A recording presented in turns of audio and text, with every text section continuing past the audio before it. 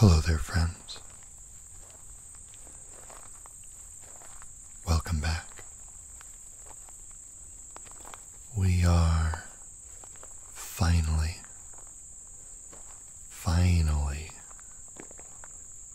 back outdoors. And we're going to do some Iron Bridge walkthroughs today. It's been a long time coming, but we uh, we're finally here.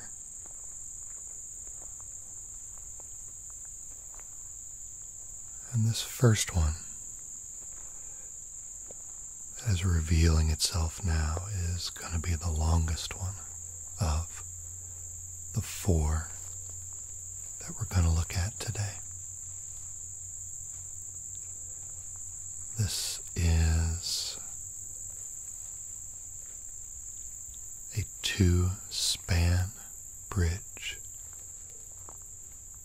plus this approach span that we're looking at now.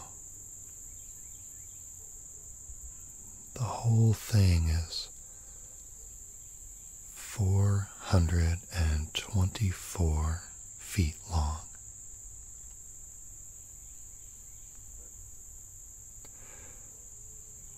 It was built in 1890.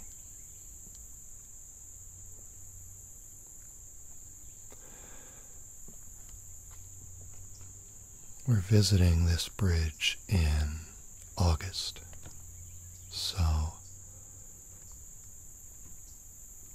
we can see that all of the trees are still green.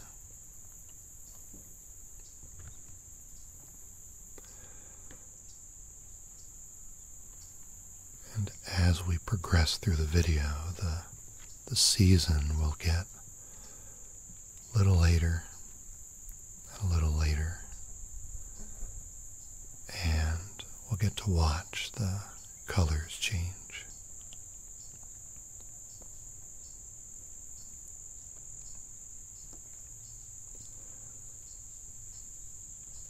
Iron bridges are particularly good for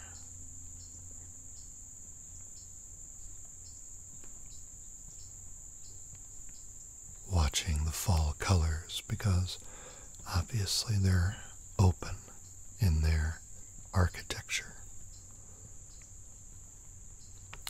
allowing you to see all around you while you're on the bridge. I find this a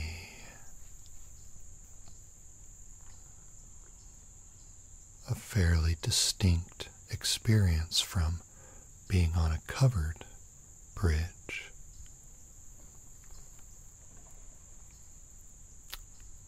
A covered bridge is very much like being in a building with windows.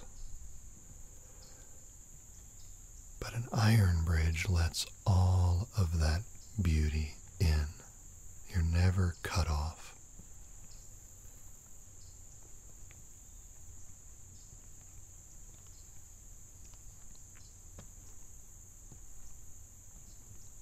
Find it to be a, a wonderfully immersive way to be outdoors.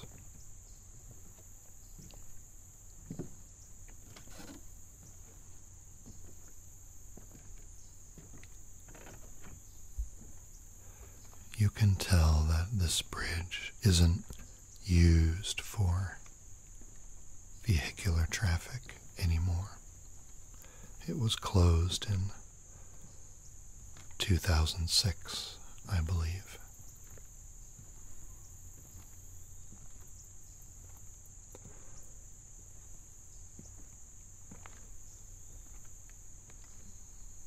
And it's uh, it's been the subject of a fair amount of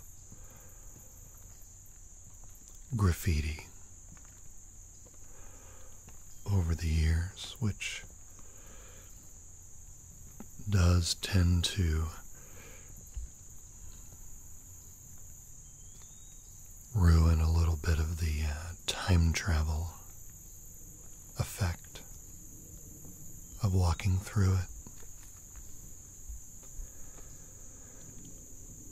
It's hard to pretend that you're back in 1890 when you're surrounded by multicolored spray paint.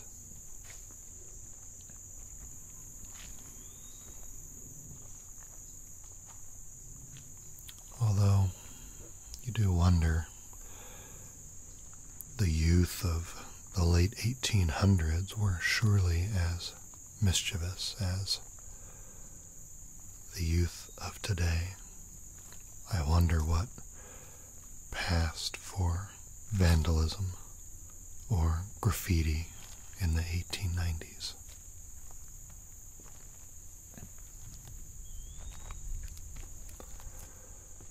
I learned a lot while working on this video.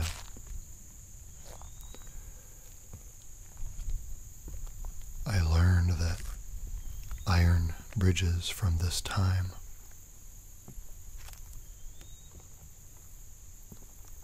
are oftentimes replaced rather than preserved compared to the their wooden covered bridge counterparts even though the bridges may be contemporaries of each other.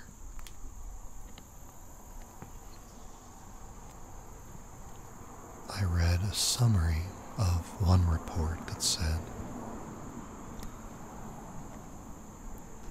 in a particular state in the Midwest from 1987 to 99 due to poor planning and conflicting interests.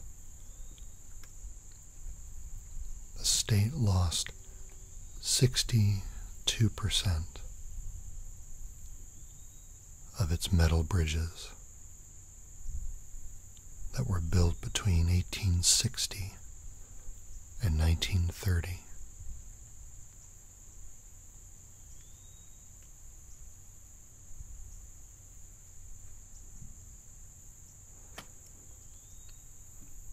It seems that the the argument for preserving and maintaining a wooden covered bridge is somehow easier to make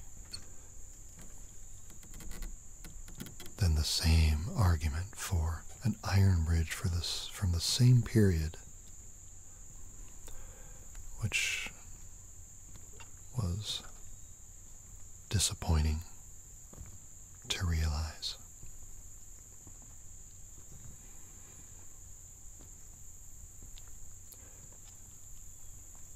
In terms of being a uh,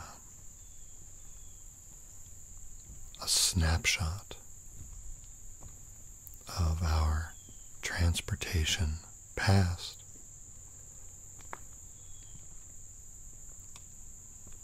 These iron bridges are every bit as relevant as their covered wooden counterparts and again provide a, a distinct walkthrough experience.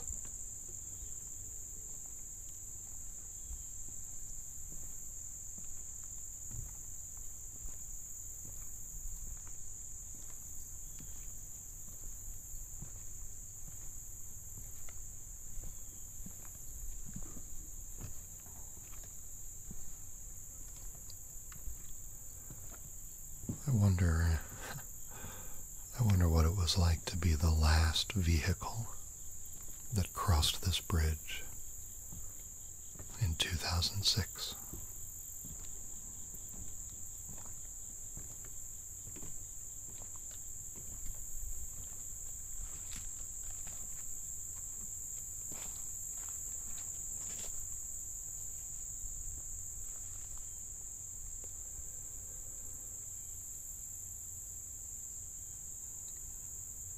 Even with the graffiti, this is a, a very handsome bridge.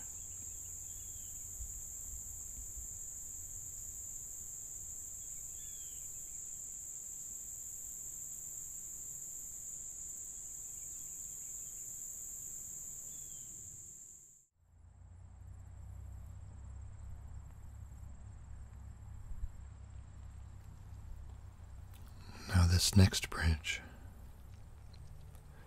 is quite a bit shorter, so the walkthrough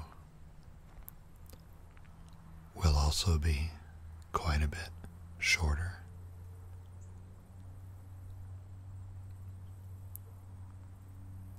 But this is an interesting counterexample to the first bridge that we looked at.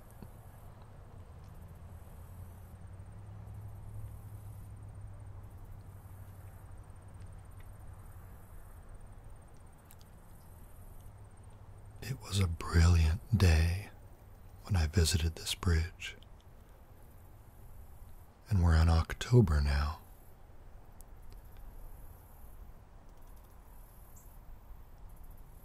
And this is a wonderful reveal.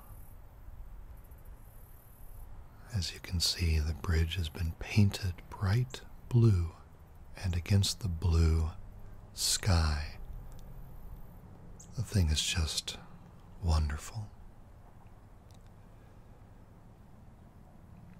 This bridge was built in 1903. It's a single span, 152 feet long. But the thing about this bridge is that it wasn't built here.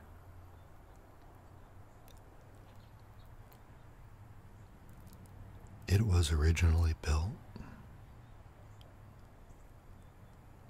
over 90 miles away from here. In a rural setting. On a small road crossing a stream.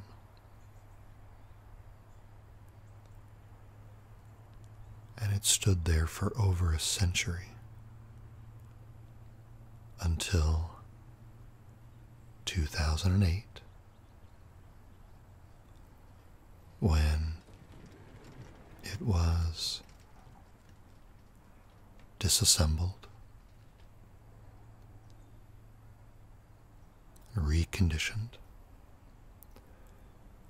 and moved here,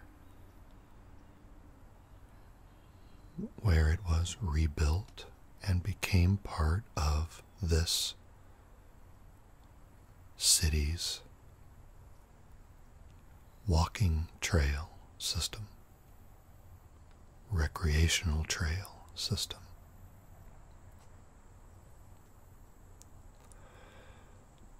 What a great example this is of repurposing this item from the past.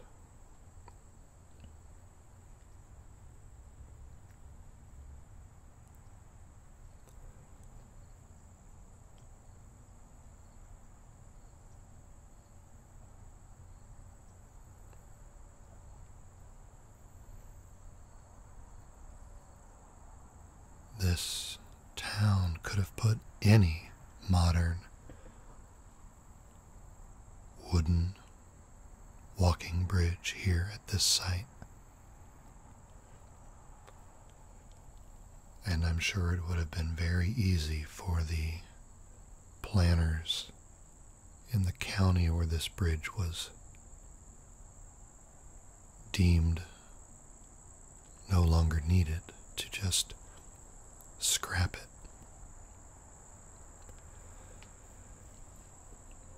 But they communicated.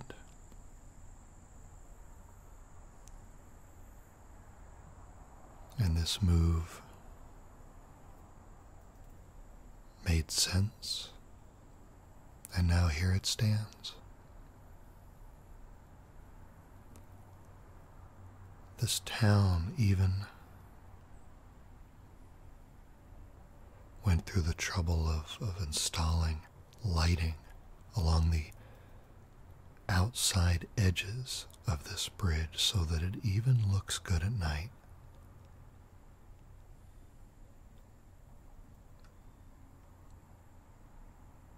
Can see the nearby vehicle bridge there in the distance.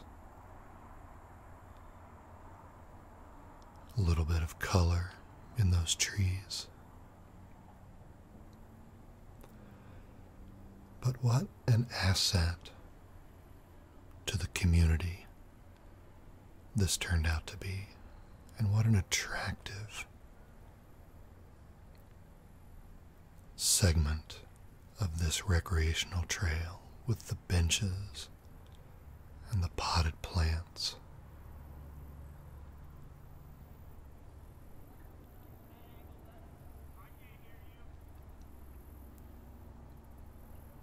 As we can see, well in use. Yeah. How's it going?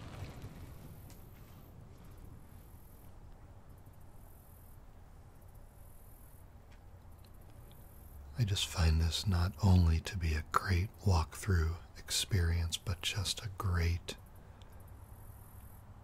example of bridge reuse and conservation. It's a lovely, lovely place to be.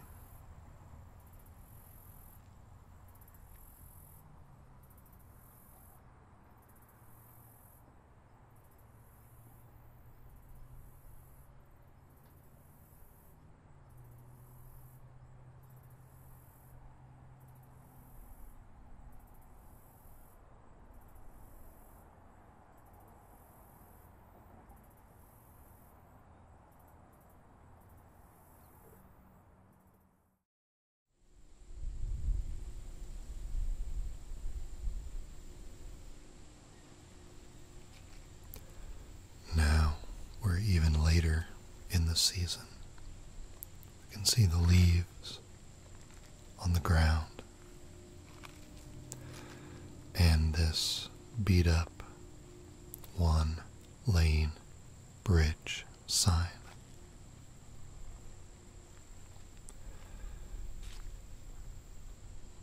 This is one of my favorite approaches I think this bridge just looks so at home in this setting.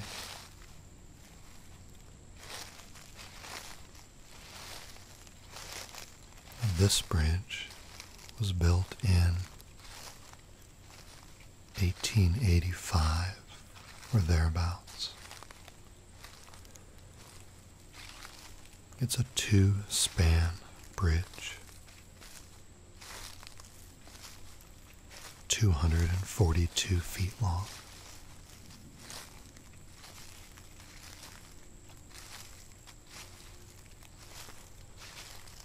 But this one is still in use.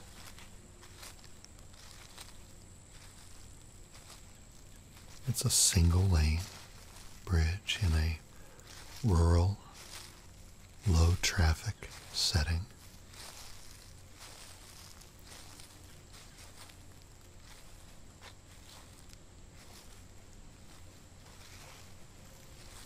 And this bridge was deemed appropriate to continue serving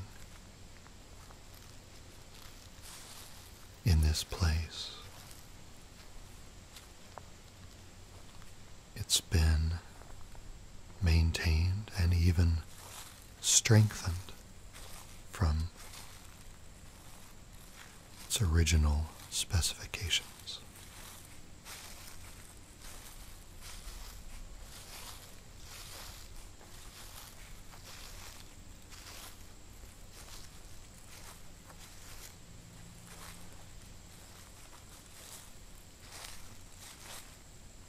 I love the effect of walking through or walking in and out of the shafts of light, sunlight that come down through the trees and through the structure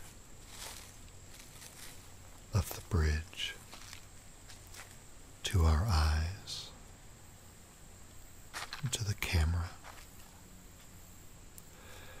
This is what I'm talking about when I when I say that this the, the, the walk through experience in an iron bridge is just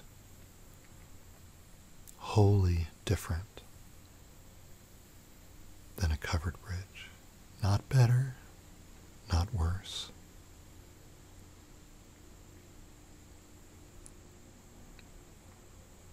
But a different experience. Look at that view.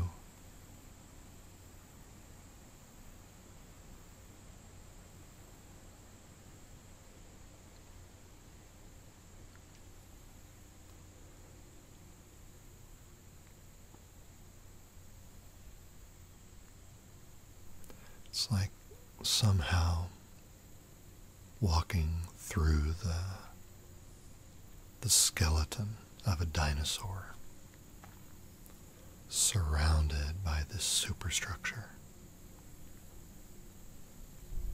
But being able to see out and see all around.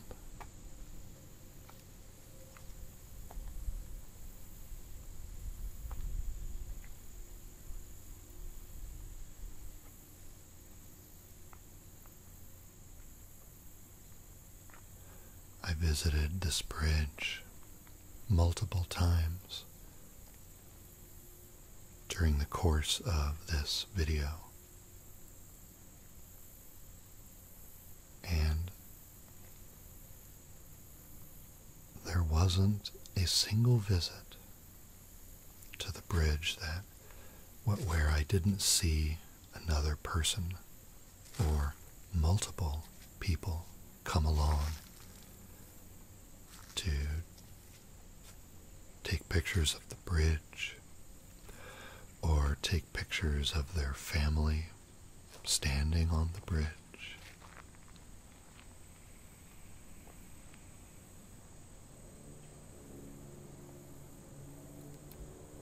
Think one person was having school pictures taken on this bridge.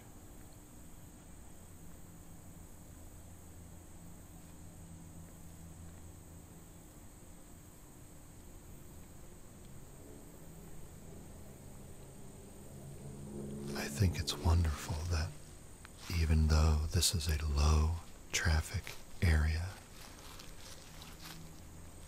and at the end of the day, the bridge is just here to perform a function.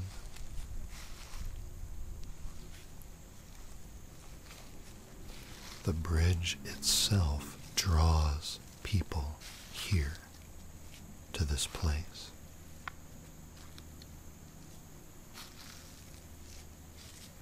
This bridge and this setting get seen by people and experienced by people who would not see this place if the bridge wasn't here.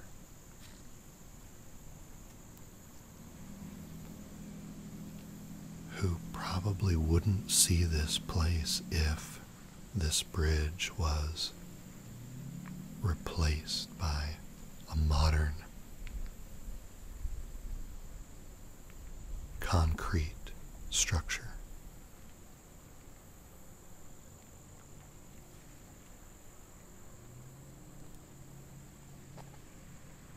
There's something about the past, there's something about an object like this that compels us to stop and slow down, get out of the car, and just walk it. Don't just drive through. Miss the experience because we're so focused on our destination.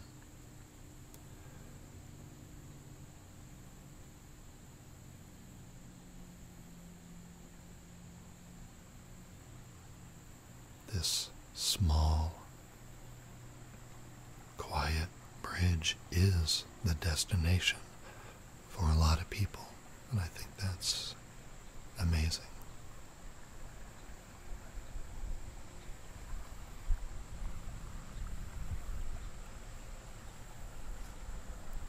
So it's not just me.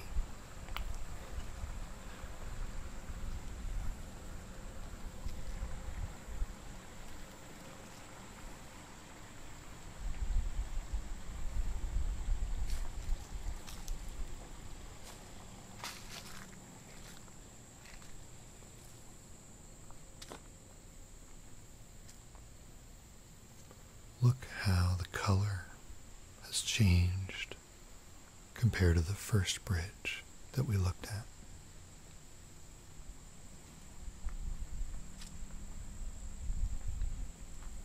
My favorite season is upon us.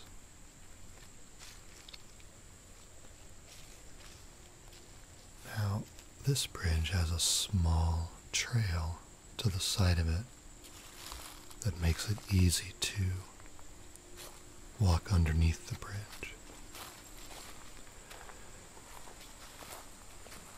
We're not going to walk underneath, but I do want to get down here past this little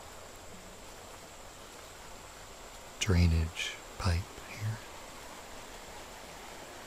and close with a view of the bridge at the level of the deck.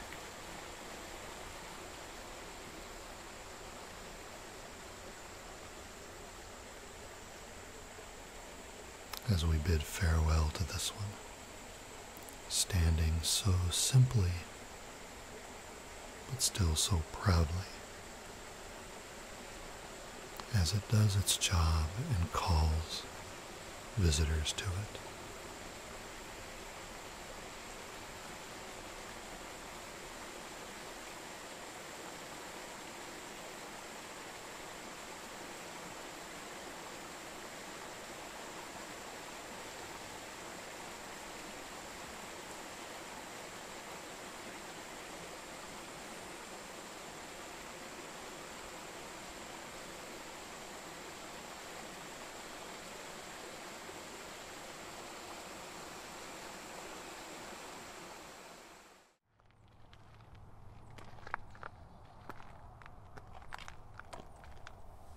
And that brings us to our fourth bridge.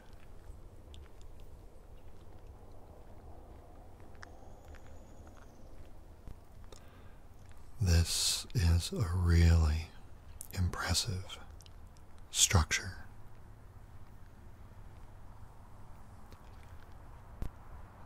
It's not used anymore for vehicular travel, as you can see by the, the posts in front, but it is maintained and restored. I love the aqua green fences along the sides.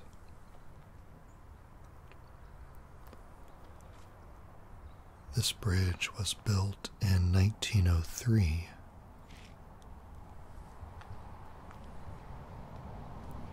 323 feet long, but it's a single span. So that is a, a pretty big span.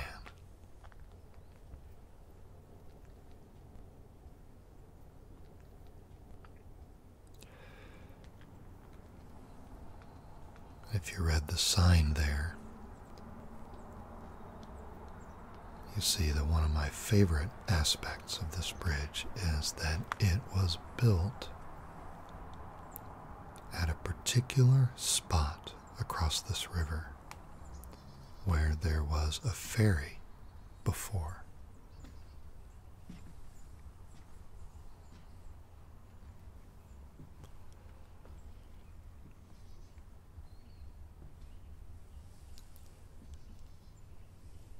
Actually, the first bridge in this video also was built at a ferry location.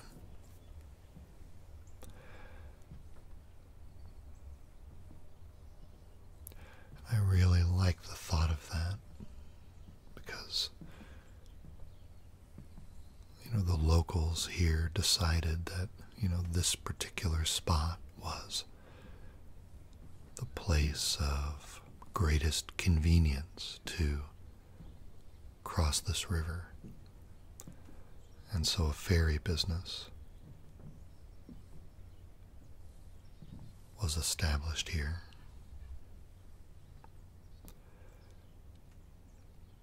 I don't know what kind of ferry it was. I'm sure it was, you know, something that was pulled across by hand.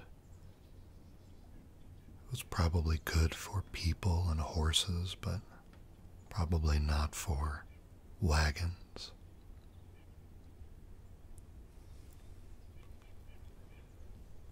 And so this bridge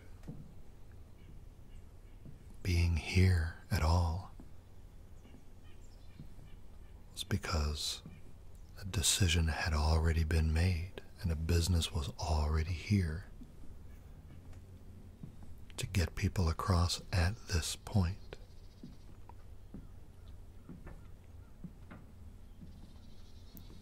Which means the the modern bridge that was a little bit down the way that bypassed this bridge was also built there where it was built. Because that ferry business operated here at one time, many, many years ago.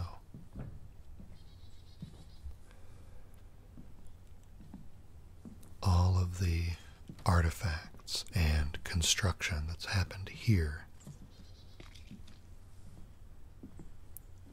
versus somewhere else. Because this was the spot where people wanted to cross.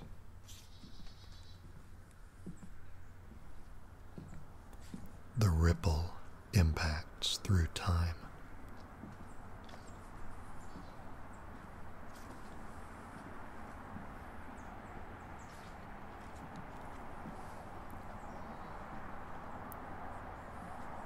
I was here at this bridge on a very crisp morning, a brilliant day, but a very chilly day.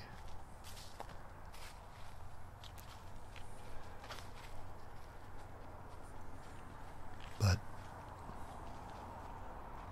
this visit has one of my favorite views that I encountered during the making of this video.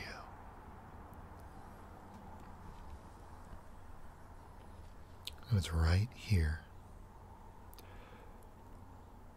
I'm going to walk a little bit backwards to frame this up a little bit better. But I love the way the trees kind of arch in and partially frame, but also partially obscure the view of this bridge.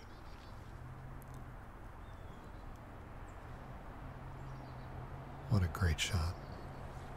What a great sight that is.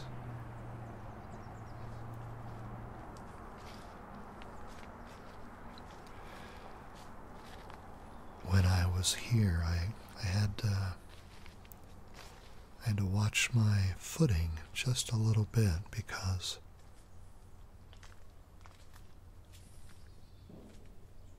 ice had formed on the deck overnight. And when I was here, the parts of the deck that were in sun had begun to thaw, but the ones in shadow had not.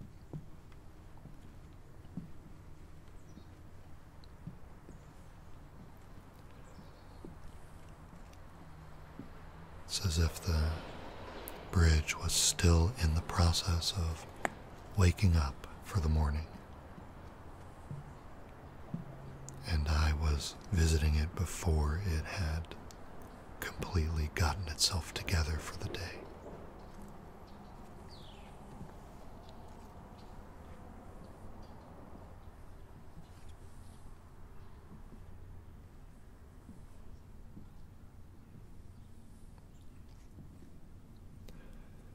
This is one of those bridges that makes you feel a little bit small when you're walking through it.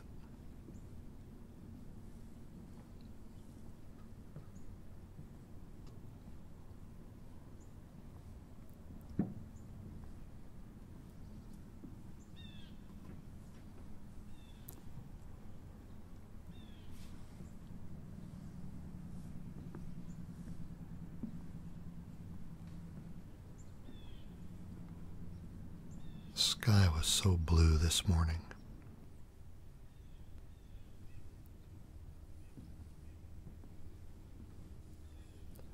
You can see the colors have changed even a little bit more now as we get later into October.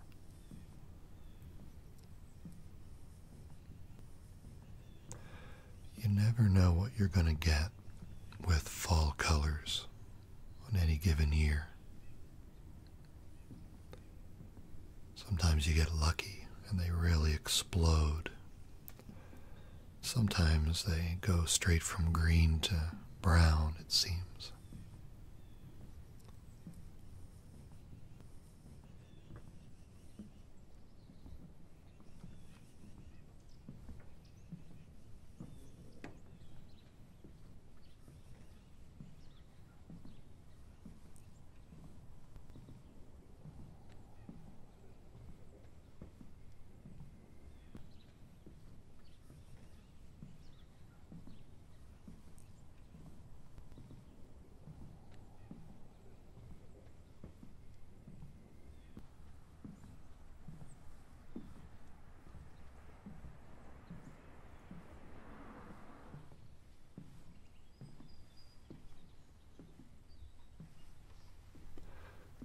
Now, for the the last part of this video, we're going to do one final walkthrough, but I'm going to stop talking and I'm going to leave you to experience the walkthrough and the sounds by yourself. We're going to revisit that that little bridge from earlier in the video, the single lane bridge. But it's going to be 20 days later in the month from the previous video. So you'll have a chance to just watch the colors see how much difference there is. How much difference 20 days can make.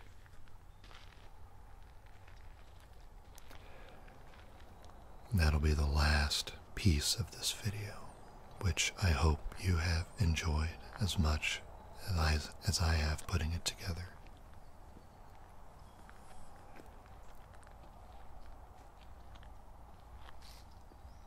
So thank you very much for being here with me, and I'll see you in the next video.